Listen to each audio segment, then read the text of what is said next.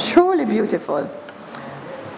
Ah, and now it is my great pleasure to invite to the podium for our inspiration, our encouragement, our beloved, John the Beloved, our pastor, our teacher, our friend, and our guide.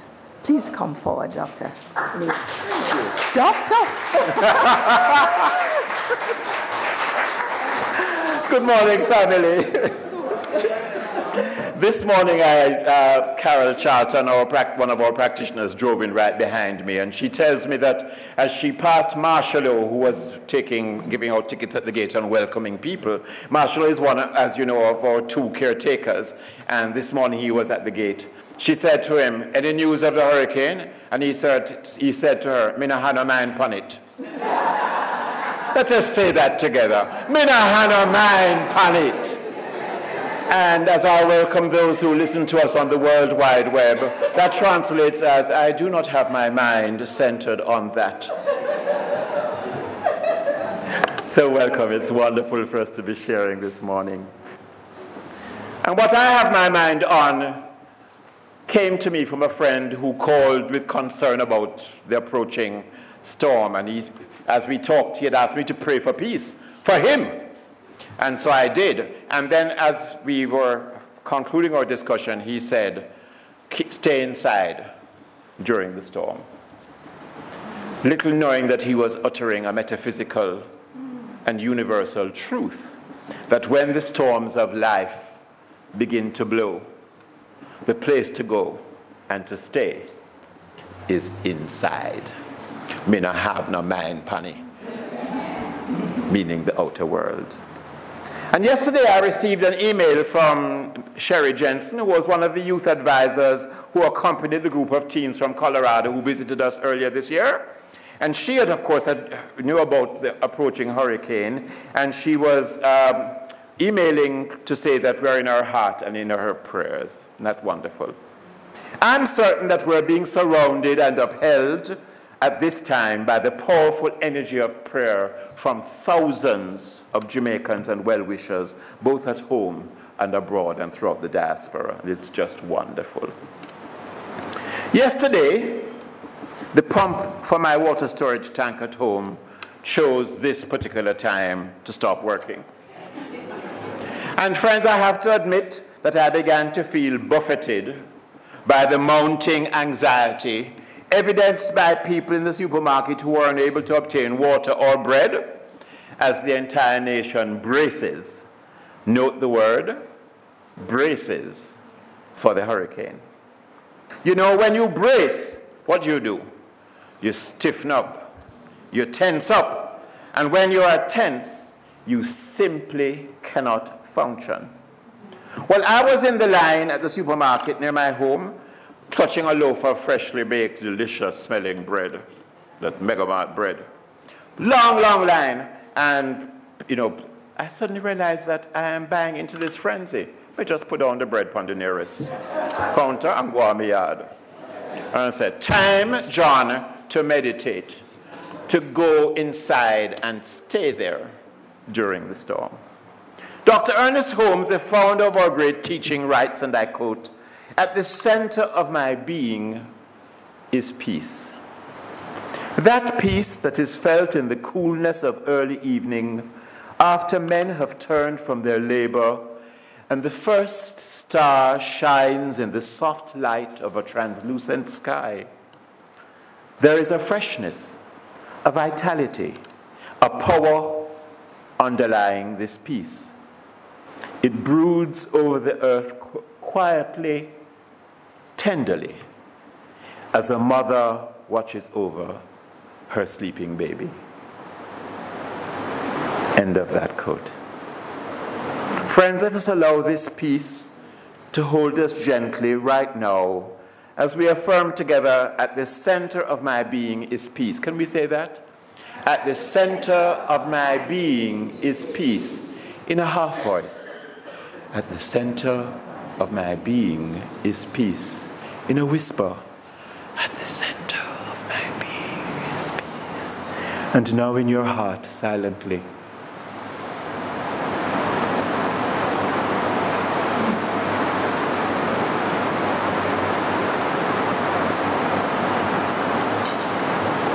at the center of my being is that peace which passes all human understanding. And friends, the sort of happiness generated when you go within to find this peace, that happiness, that, that sense of inner joy, is far different from the fleeting gratification that comes from physical pleasures. It is a lasting joy that transcends any apparent dangers in the outer world of form, and it is untainted by external circumstances. To attain such happiness, you must first discover its nature, its source, and then be willing to accept it at its price. And there is a price we have to pay the price of diligent spiritual practice. Reverend Sonia and Reverend Anne Shand have a class on a Thursday evening which is about spiritual practices. And really, you should give yourself the gift of coming to even one class.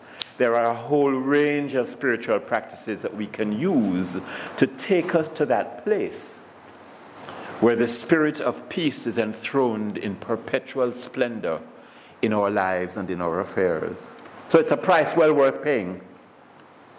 The nature of happiness, my friends, is so simple that it is usually ignored. Its origin is so wonderful that it is rarely understood. The Greeks had a word for it. It was eudaimonia, E U D A E M O N I A. Eudaimonia means having a good spirit.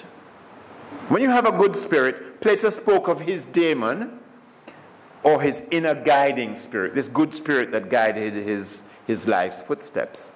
And another philosopher, Pascal, went a step further and defined the source of the good spirit thus, and I quote Happiness is not within us or without us, it is a union of ourselves with God.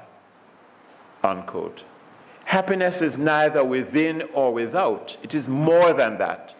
It is a union of our very souls with God. You know, there once was a king who yearned to know the true meaning of peace. So he offered a prize to the artist in the realm who would paint the best picture of peace. And many artists tried. The king and his court looked at the pictures, but there were only two he really liked, and he had to choose between them. One picture was of a calm lake. The lake was a perfect mirror for peaceful, towering mountains all around it. Overhead was a blue sky with fluffy white clouds, and all who saw this picture thought it was a perfect picture of peace and tranquility. The other picture had mountains too, but these were rugged and bare. Above was an angry sky from which rain fell and in which lightning played. And down the side of that mountain tumbled a foaming waterfall. To the court, this did not look peaceful at all. But when the king looked closely, he saw behind the waterfall a tiny bush growing in a crack in the rock. In the bush, a mother bird had built her nest. There, in the midst of the rush of angry water, sat the mother bird on her eggs in perfect peace. So, which picture do you think won the prize? One or two? You, there you go. The king chose the second one. And do you know why? I quote him Because, explained the king, peace does not mean to be in a place where there is no noise, trouble, or hard work. Peace means to be in the midst of all those things and still be calm in your heart. This is the real meaning of peace. And I always marvel at um, the, the participants in our, our, our um, correctional outreach at the Tower Street prison. Because we meet so many people, don't we, Reverend Michael, who have this sense of inner stillness. Well, me and Yamat myself, if I find one loaf of bread, which I'm not supposed to eat at the supermarket because they expect rain to blow. You understand me? They get a meal, and if they don't like what was cooked, that's it till tomorrow. And they have this sense of stillness in their hearts and this, this sense of being aware, aware of God, which is just, just far surpasses anything that I have been able to attain um, or, or, that I've been working a, a long time to get there. Those, my friends, who have a clear concept of this happiness and who possess it know that its attainment does not demand too high a price. But to gain this kind of stillness, you must know yourself, set a goal, and work towards self fulfillment. To thine own self be true is the essence of abiding happiness when you work toward development of your higher nature. And when your goal is based on honest self knowledge, this is a sound foundation for the greatest degree of self development. And this is why I love this study of the study of this teaching known as the science of man, because it brings you back, it throws you back upon yourself.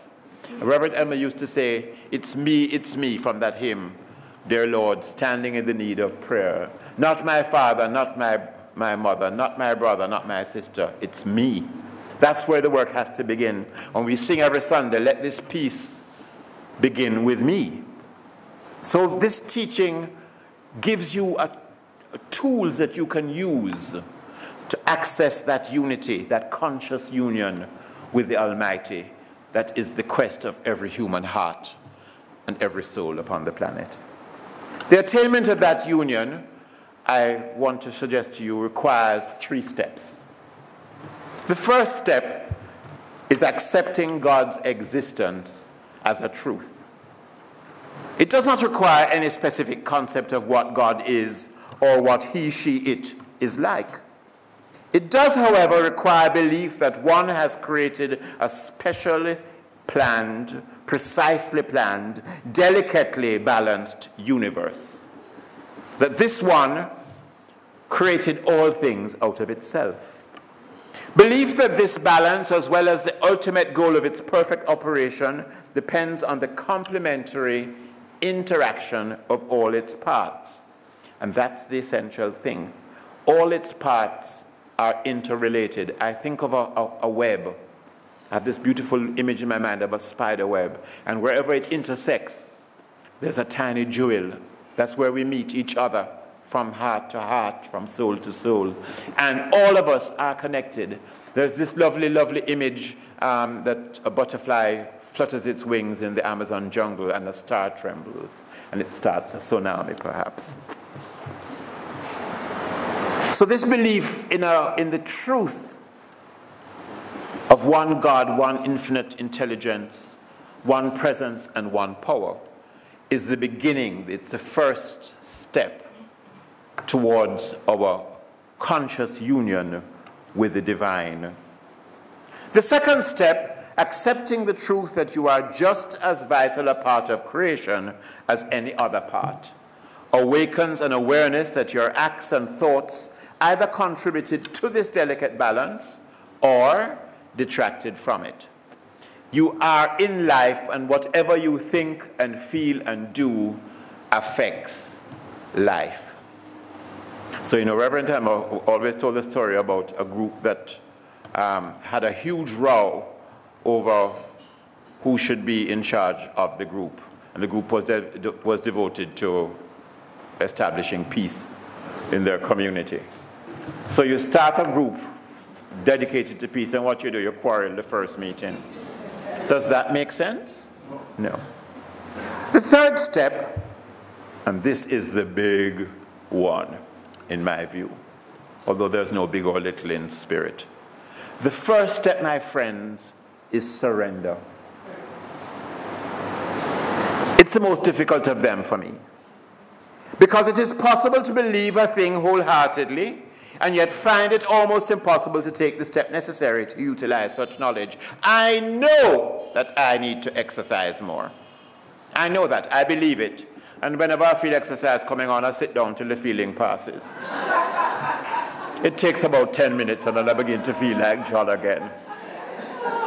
So you say you can take this step only when you can absolutely trust that God's will for you is the highest good you can imagine for yourself. And that once you stake your claim as a beloved expression of this one, you can let go and allow God to bring it about in the best possible way for you.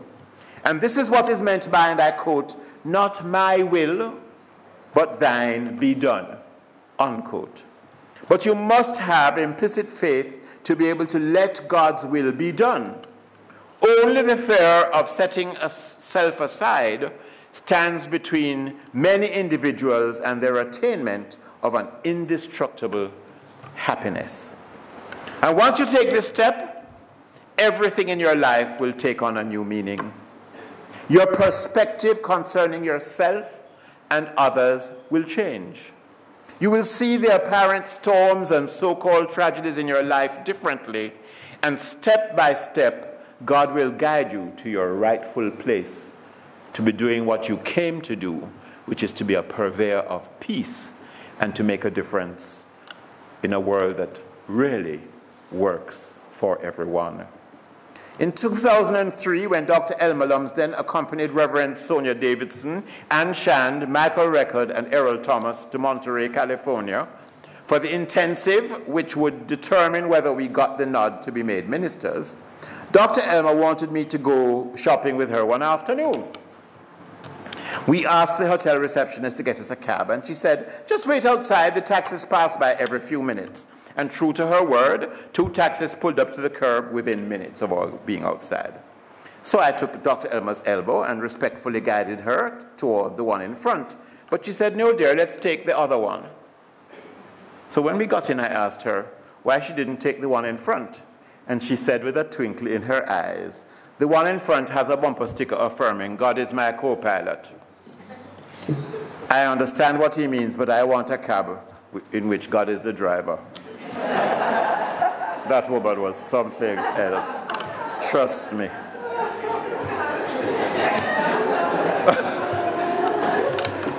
she not easy, know. That bumper sticker was echoing a mindset that many of us have, though, you know. It goes something like this how we think I drive and God is my helper. I call the shots and God does my bidding. Unquote. I don't know about you, know, my friends, but my life doesn't work very well when I try to call the shots. In fact, when I do, I find myself in some deep yogurt. Friends, if God is your co pilot, you need to switch seats right now, right here, this morning. You need to let go, to surrender, and simply say, Over to you, God. Let's say that. Over to you, God.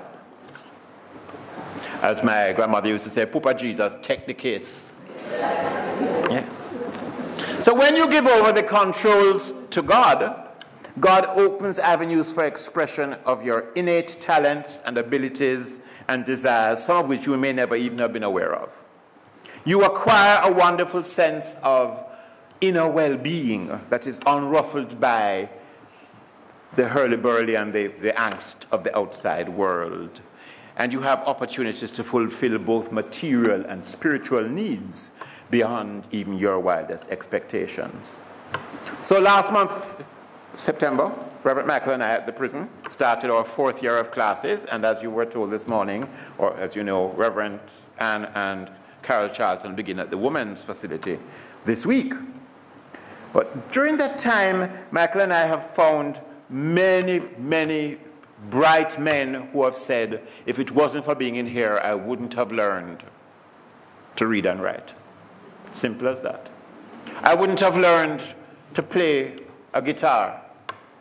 Some have said, I wouldn't have learned that I have the ability to teach others. And I remember one saying, we have this exercise where they choose an object to represent their personality, and one of the objects is a, is a candle, and one of them chose the candle and then they have to say their name again so we can learn it and say why they chose these objects. And this guy held the candle and he said, I've always been a light, but I was lighting people down the wrong road. Never thought of it in that way. Eh? You think of light, uh, you know, all spiritual and warm and fuzzy, don't you? But you, you can be a light and really lead people the wrong way. And what had gone on for him in his head in our class, and since being in that facility, is that he can be a light that takes people into righteousness and into the discovery of their deep spirituality. And those guys, I tell you, I can't wait to hear Reverend Ann and Carol if the woman if, um, exhibited too. There's this deep, deep yearning for God and this deep, deep sense of fellowship with the divine that I find absolutely enviable. So you know the wonderful thing is your cooperation with God, your cooperation with God eliminates the need for you to compete. There's no competition. I just uh, asked a, an acquaintance of mine a week or so ago how his new business is going, and he said, "Not bad, you know, but you know the competition is stiff." And I had to remind him, you see, if you make God your CEO, and you're a paymaster, and you're a senior partner, and allow God to be the pilot, there is no competition because the universe has provided for all everything that you could possibly need. And therefore, there can be no competition. There is enough.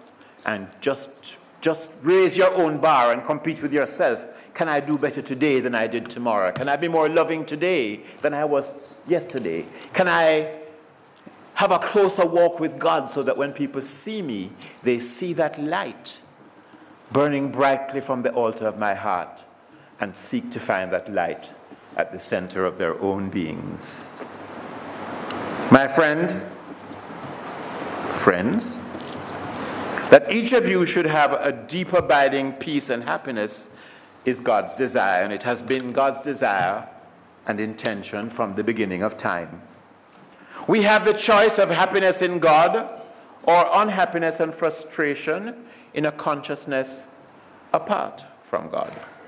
And however pleasurable life may seem apart from God, one day you will find that your soul is hungry and your heart empty if you don't have a spiritual practice that draws you closer to that spirit of life and love and joy which created you out of itself and that calls you to its service in every facet and relationship of your life's experience. And so this brings me to your assignment. You think because rain or fall and breeze or blow, you're not getting an assignment? You're lucky. Your assignment, should you decide to undertake it, is to take time today to go inside and there recognize God as all. That's the first step of treatment. Just recognize God. The first step of our affirmative prayer is just recognition of God.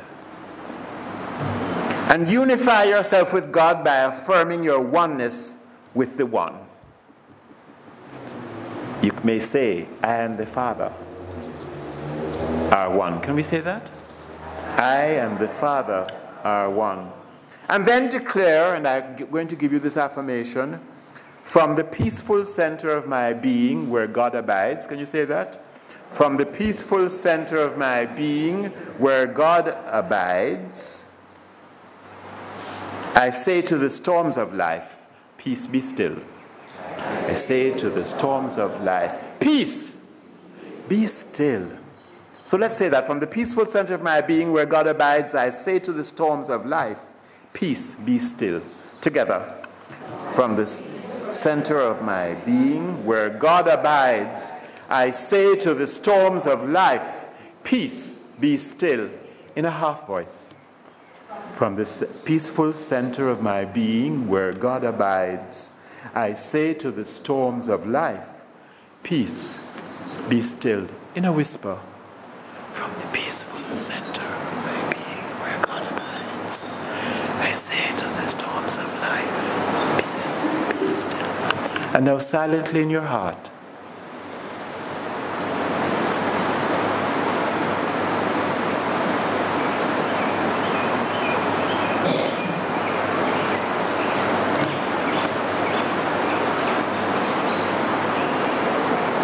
and the wind and the waves will obey you. Namaste.